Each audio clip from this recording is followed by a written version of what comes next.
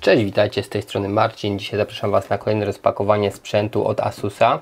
Jak widzicie jest to seria Strix i są to słuchawki dla graczy Strix 2.0 czyli konstrukcja bardzo podobna do tej, którą testowałem Strixów 7.1.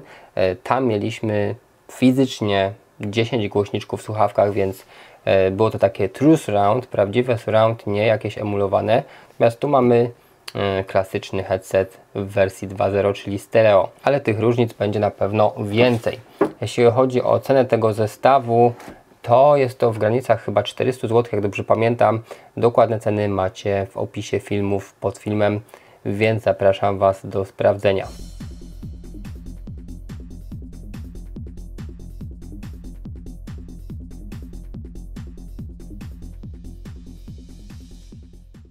Na początek widzimy informację, że kompatybilne są z PlayStation 4, więc przydatna informacja dla konsolowców. Kolejne informacje, potężne, ogromne 60 mm przetworniki, e, naprawdę duże jak na słuchawki.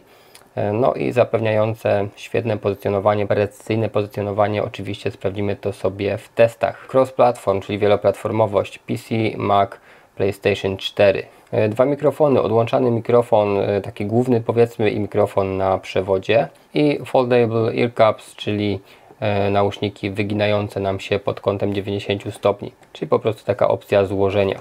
Po boku mamy specyfikację i już patrzymy co my tu mamy.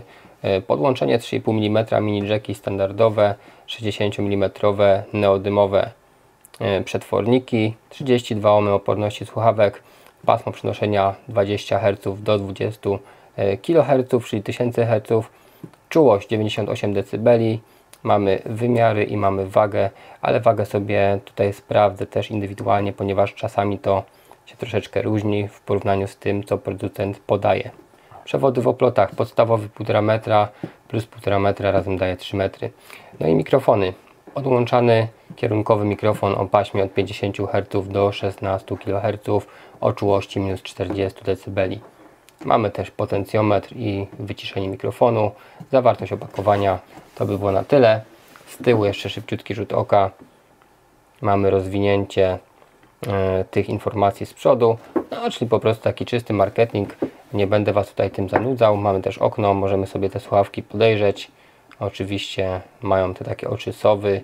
E, sowa jest znakiem rozpoznawczym w serii Strix, to pamiętacie z poprzednich recenzji. Widzimy to już też w tym samym znaczku tej serii. Już sobie rozpakujemy te słuchawy. Też tutaj trzeba rozróżnić, że nie jest to to samo co seria e, Rock, czyli Republic of Gamers. Seria Strix jest e, niezależną serią. No i tu mamy jakieś akcesoria, zaraz zobaczymy.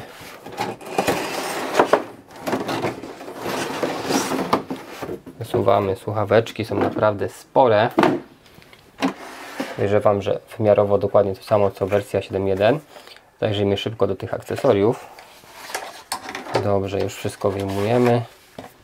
No i przede wszystkim e, Quick Start Guide. Tutaj jakieś informacje gwarancyjne.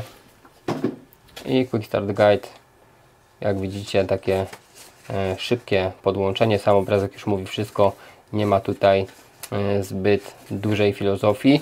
Nie wiem, czy są sterowniki, ponieważ słuchawki są na mini jackach, nie są na USB, więc sterowników raczej do nich nie będzie, ponieważ po prostu nie są potrzebne. E, mikrofon, no widzicie, elastyczny, fajny, odpinany, więc nie będzie przeszkadzał. Jeśli będzie nagrywał tak jak w wersji 7.1, no to znakomicie. Mam nadzieję, że będzie przynajmniej w połowie tak dobry. Następnie tutaj taka przedłużka, dodatkowe 1,5 metra przewodu. E, aha, czyli słuchawki mają pewnie, tak, już widzę, że mają jednego mini jacka, chyba czteropinowego. Rozgałęzia nam się to poprzez taką przejścióweczkę. Tu mamy rozdwojenie do komputera na mikrofon, na słuchawki, dość fajne wtyki, zobaczcie. E, I mamy tutaj już trzypinowe wtyki, natomiast dzięki tamtemu możemy sobie e, chociażby posłuchać tych słuchawek na telefonie, jednocześnie korzystając z mikrofonu na kablu. Do starych typów Nokia, Sony Ericssona, Samsunga i tak dalej. Zobaczymy, czy to się do czegoś przyda. No i już sam headset. Dobra, moi drodzy, naprawdę spora rzecz. Troszeczkę przyszedł niestety E, nie wyczyszczony dokładnie, ale trudno. Tak już to musi wyglądać. No i mamy wtyk e, czteropinowy, też taka dość fajna wtyczka, fajny kształt. Tutaj się będzie wytrzymała. Mamy oplot na przewodzie ponownie, dość miękki. E, mamy clips na tym pilocie, logo Asusa. Tutaj mamy mikrofonik, mamy potencjometr, e, bardzo małe pokrętełko i bardzo lekko chodzi. No troszkę tutaj nie robi to dobrego wrażenia. Ten przełącznik, wyłącznik mikrofonu strasznie luźny, tak strasznie zalatuje tutaj tandetą niestety, ale te piloty na ogół tak wyglądają, że jest to po prostu plastik takiej przeciętnej jakości co najwyżej. No I patrzymy dalej. Tutaj mamy element gumowy, który ma zabezpieczyć przed wyrwaniem, złamaniem e, tego kabla tutaj z muszli.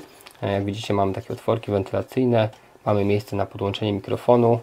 Skoro słuchawki na mini jackach, to te elementy e, nie będą podświetlane, no bo jak przez mini jacka nie dostarczymy prądu, przez USB musiałoby to być rozwiązane, więc po prostu te oczy sowy będą tak sobie wyglądać, no ale też jakoś to wygląda w miarę fajnie, jakiś tam efekt ozdobny jest, napis Strix i właśnie te oczka w dużych, masywnych obudowach. Pałąk górny, no solidny plastik, dość sztywny, a potem mamy ze skóry logo Strixa, jak widzicie. I to tak samo jak w wersji 7.1 bardzo ładnie wykonane mięciutkie, przyjemne w dotyku, e, fajnie oprzyte poduszeczki, tak więc tu jest ok. I regulacja w ten sposób. Po prostu sama konstrukcja słuchawek jest duża, e, raczej przeznaczone dla ludzi o większych głowach, na pewno nie dla e, młodzieży, dla dzieci, ponieważ po prostu są ogromne te słuchawki. Dla mnie już były dość duże. No i zobaczcie, wnętrza ogromne. Mamy tutaj w środku przetworniki i moi drodzy, Wypełnienie dość miękkie, przyjemna w dotyku skóra, więc też fajnie. No i to by było na tyle, jeśli chodzi o e, pierwszy rzut oka. Tak więc konstrukcyjnie i pod względem wygody bardzo podobne do wersji 7.1, e, dlatego wiem czego się spodziewać. Zobaczcie, jeszcze tak się ruszałem troszkę, więc dopasują się dobrze. E, natomiast tam narzekałem niestety na konstrukcję, na wygodę, ponieważ słuchawki były mi po prostu za duże, niewygodne. Natomiast przetestuję je pod względem dźwiękowym, zobaczymy co z siebie wydobędą, jak sprawdzą się w grach, jak sprawdzą się przy słuchaniu muzyki, chociażby oglądaniu filmów i za jakiś czas poznacie moje wrażenia. Na dzisiaj dziękuję Wam za uwagę. Pamiętajcie, ceny tej wersji innych sprawdzicie w opisie filmu. Pozdrawiam Was, cześć!